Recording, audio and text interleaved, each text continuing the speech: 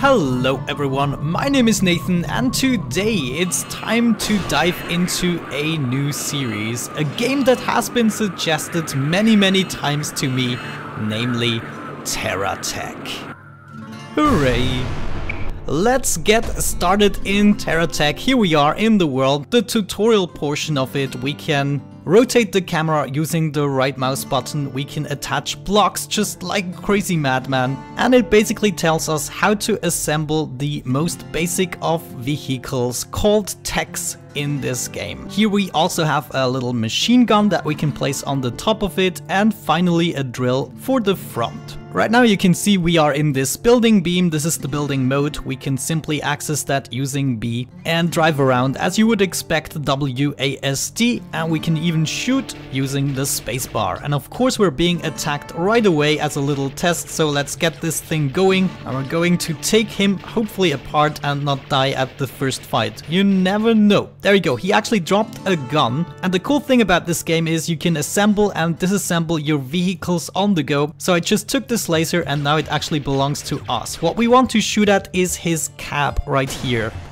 kind of the cockpit and this will make everything explode. You don't necessarily want to take apart the additional blocks on the vehicles because you can of course utilize them yourselves. Also right here we get a stabilization wheel for the back or the front and maybe we put some more wheels just like that. Holy cow. So a quest marker has appeared here on the other side, though there is another enemy very nearby. Maybe we check him out. He's a mini drill tail. There we go. He's behind the rocks. We can just freely hit him. Maybe let's move around a little bit. I think he cannot maneuver right now. Also gonna grab this additional block. Thank you very much. And take the rest of him apart. There we go. There's even additional things. For instance, a lamp that we can utilize during the night. There is actually a day and night cycle in this game. And do we need additional wheels? I guess we can complete that by attaching the last two right there. We do not need an additional drill, we already have one, so let's go ahead and move towards this quest marker. Okay, so the smoke column might be a part of our base bomb, We'll have to figure that out, we might be able to find some stuff. And indeed, it is actually a solar generator. Those guys you actually need in order to start up a new base. So let's see, what is a nice spot to start a base? Maybe right here would be a good spot. We just plot it down on the floor and the tutorial continues by giving us a repair bubble. Of course, as long as it is daytime, the bubble will expand and you can see some of my parts actually got repaired there. So that is good to know. Now that we know that smoke columns contain nice stuff, Let's see if we find some more of those. There's one over there. Oh, there are actually several ones over there. So let's just go ahead and drive towards them, potentially fighting some more enemies on the way. Okay, so far so enemy free. We are nearby this column. I think this is the closest one. So let's approach it. There is potentially another guy nearby. Hey, look at that. There is a tree burning. We have to take apart this tree because it contains a battery. Very, very important. We want to grab that definitely. Come on. And there we go. Attach the battery maybe right here. Of course the battery needs to be recharged using the solar generator, so we cannot really do that on the vehicle just yet. However, before we move back to base and bring this battery there, oh, oh, we should avoid getting destroyed by this guy. Don't do that. I don't want him to destroy the battery right away. There we go. Managed to take him apart. Oh no, he's actually still alive there. Can you see that? What a bugger. Give me your weapon. We're gonna shoot your cab until it is destroyed. He left us another, what is that? Either a repair bubble or a shield projector. Not yet sure, but we are going to expand our vehicle slightly by utilizing those blocks. We're gonna make it a little bit more stable with bigger wheels. That is gonna be good. Maybe also get rid of the front wheels there. Ah, look at that. That is so much better. We're gonna protect the battery slightly by placing another block on top of it and another laser right there. Okay, we do not need any of the other stuff. Maybe we can put a backlight there. That of course could be very beautiful in the end. However, before we visit the next column, I really want to get my vehicle repaired once more. I want to bring back a bunch of my materials. Oh geez, no, this guy is shooting at us. You are not gonna do that. You are not gonna win, my friend. No, give me that weapon, thank you. And maybe another block. Yeah, my tech is very, very unstable at the moment. The weight distribution is horrible, but sometimes we'll have to do that in order to bring back important stuff. There we go. We have arrived at the base. Let's make sure that my vessel gets repaired. Okay, very good, very good. Now, we're going to detach a bunch of those blocks. We do not really need that many. We also don't want the battery. We want to load it up right here. You can see now it is being recharged which of course is great. And what do we have here? Yeah, it is a shield projector. You can see it has a different color. So it might actually be good to have that on my own vessel. We could, for instance, take this fully charged battery and place it right here. Gonna have a gun on top of it and then this shield projector right in front of it. And you can see now my vessel is protected as long as we do have some battery power.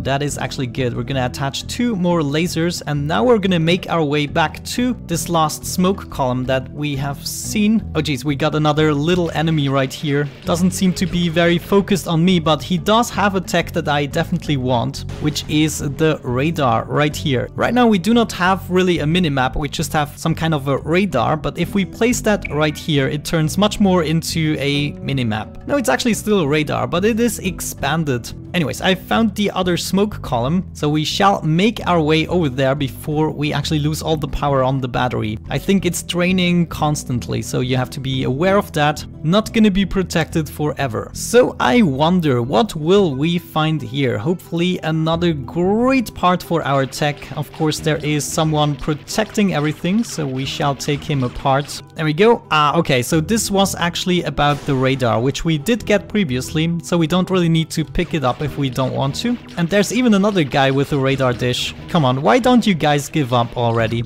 Oh, oh, oh, get away from him. He actually managed to damage us slightly with his final explosion. Of course, we do not really appreciate that but it's gonna be fine. Look at that, there are actually several biomes as you can see, but I'm pretty sure that the desert will have more difficult enemies. However, what the heck is that? It looks like a plane. It is actually a freaking plane, I don't believe this. So if I do recall correctly, what we can do with those guys is actually take our own cab right here and place it right on top of here. No, I thought that's how I did it the last time. However, we might not be at this part of the game just yet. However, there is a message about Tony somehow, and I think it's all about those guys right here. What do you want from me? He does have an additional battery, that is good. We definitely can use an additional battery, additional blocks as well, and that is about it. Then I want to make my way back to the station so that we can heal ourselves up again, maybe recharge the batteries. We will be losing our shields momentarily, though we might be able to take... Oh man, look at this guy, this is... Oh no, Thank god we still have a little bit of shields left, though they are not gonna last for very much longer. However, I managed to take most of his vessel part, actually everything, which gives us a great advantage. Now we do have lots and lots of blocks. Jeez, look at that. All of that for us. Thank you very much. With that, I'm actually gonna expand our base, though we might want to attach some more wheels to our baby here. Got an additional laser and even one more. What else do we have? Another laser. Oh geez, this guy was armored to the teeth. I'm surprised that we actually survived. Okay, there we go. I think we got it under control again. Now, I think it will be turning nighttime very soonish. We do have most of the parts in order to get ourselves going. The next thing we need to do is go to the trading station, which is all the way over there in the desert, I believe. And at the trading station, we'll be able to continue the quest and purchase additional blocks, such as a refinery, collectors and everything. You will have to collect materials, refine them and sell them. It's actually a really crazy what this game has to offer. However guys, let me disassemble some parts of this vessel, attach it to our base right here and then I'll be right back once we move to the next part of the quest. Okay guys, it will be nighttime very soon, but I think I'm ready for actually another trip. This time the vehicle is set up a little bit more intelligently. We have delicate parts such as the radar dish and also the shield projector very protected. Oh geez, it is getting actually really dark here. Let's see if we can change the gamma just slightly.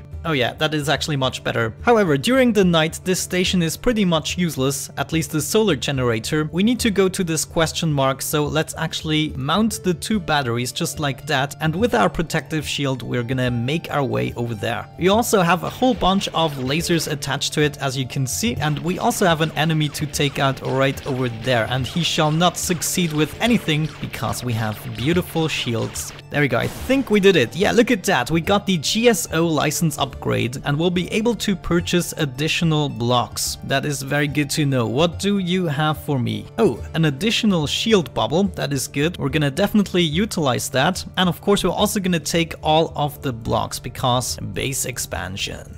And what is that? Oh, look at that. We even have a repair unit. We can repair our vessel on the go with that. Though we'll be running out of battery charge soon enough, there's an additional battery, some more blocks, and I guess the rest we just leave laying on the floor. Though there's another stabilization wheel. Okay, everything else is good. Let's go ahead and actually click on this trading station and what we want to buy is a tractor pad. So in the block section, it is actually the first block. Let's buy that baby and it should be landing nearby. Yeah, look at that. We already got it. Let's put it here at the back as close as possible to the ground that what we can do now is actually take apart a bunch of materials such as this crystal here and I think you get more materials if you use the drills. However, you can see this thing is automatically picking up those materials and we can then bring it back to the station in order to make money out of it. Eventually you don't have to do this at this neutral trading station but you can set up your own trading stations. You can even do it on the vessel itself. It's kind of crazy. Great, attach the delivery cannon to your tech. I do not have a delivery cannon just yet. It claims that it has landed somewhere here though it is kind of hard to see. Let's actually see if we can purchase it. Note the delivery cannon is still locked because we haven't discovered it yet. So since I don't see it laying anywhere on the floor, I guess we're just gonna have to find a vehicle which actually does have this cannon so that we can sell our materials at our own station and don't have to go into this dangerous territory. However, our tech is messy once again, so why don't we go ahead and get back to our station just to heal ourselves up, get rid of the additional things, and then we're gonna hunt for some more vehicles, hopefully getting that delivery cannon installed. And with that, we're probably gonna wrap up this first episode. There we go, it is daytime, let's plot our batteries down here. We're also gonna expand this station a little bit with the additional blocks that we got. Now we even have this shield projector for the station itself, so we can make this a little bit more secure. And once those batteries are finally charged, we'll be going into the field once again. I'm sure we'll be successful eventually. Okay, there we go. This is our new vessel. Let's go ahead and drive back towards the trading station. Maybe in the daytime we'll be able to find this delivery cannon that they claim has landed next to the station. Yeah, making some more money, some more BB. Oh well, I'm not entirely sure. Let's just check this guy out. He seems to have some new kinds of wheels that I'm definitely interested in. He's already rendered pretty much useless. Come on, let me finish you. Oh, we get an additional gun. Let's actually install that. That is something new. Oh man, what a nervous bastard. Come on. There we go, we did it. We finally did it and hopefully, ah no, one wheel actually exploded. That is really bad. Let's see, let's actually exchange the back wheels. Gonna use this one and they are both blinking, so it doesn't matter which one we take. And oh yeah, much better. We get a much better acceleration with this. Attach some additional blocks right here, new types of blocks. And I guess we take this wheel with us, even though right now we cannot really use it. Anyways guys, I really really want to find a guy with a delivery cannon. Though this guy does also have some new kinds of blocks we haven't seen just yet. There we go, for instance this one, what is this? A pusher plow. Oh, that is crazy. Do we take that with us? I don't think so. We just have to attach it to our vehicle at least once so that it is going to be unlocked. But we can definitely use the drill in the front. That's gonna be good. Oh, look at that. That looks promising. They are actually fighting amongst each other and we have found another guy right here that we can easily take apart because he's very confused. There we go. Yeah, that should have done the trick. No, he's still alive. What a bugger. But he does have new kinds of weapons, look at that. Some kind of rocket launchers. Oh man, we do not have space, but we have enough space to at least take them with us. And this is also something new.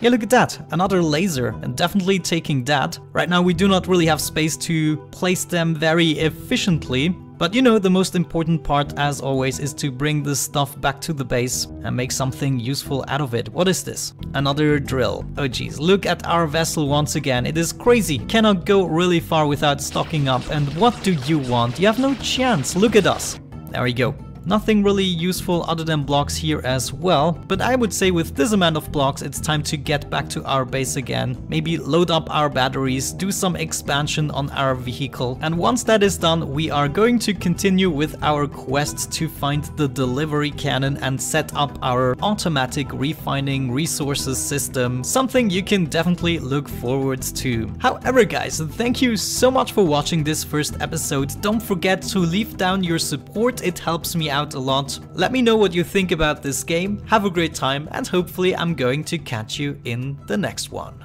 Bye bye.